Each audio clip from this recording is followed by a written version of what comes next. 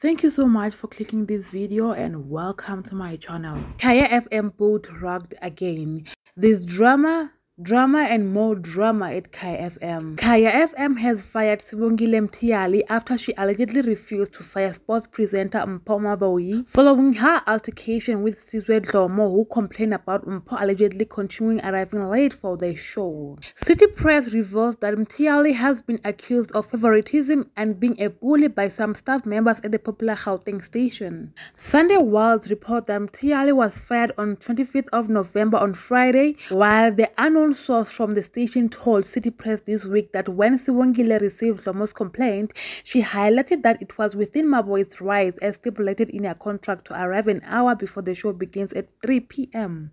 It's been a norm that Sizwe arrives at 1 p.m., but the contract indicates that presenters of the show are expected to be in the studio at 2 p.m. So when Sibongile made him aware of this aspect, he claimed that he could no longer work with her.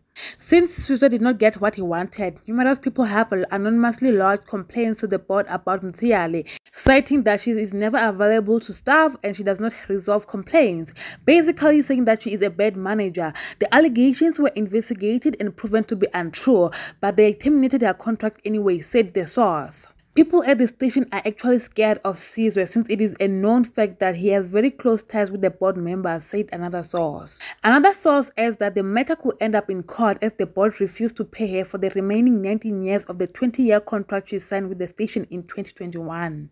They are pushing her out and only want to pay her for the next three months. It's surprising that they are pulling out all the stops to force her to leave. She is saying that the station should pay her for the remainder of the contract since she has not broken any company policy. Sizwe Dhlomo told City Press that Sibongile Mtyali's termination was not solely based on his complaint and adds that his complaint came from Maboi's refusal to join the routine 12 p.m. meeting with the team. Sizwe rejected the allegations that people were scared of him because of his ties with the board.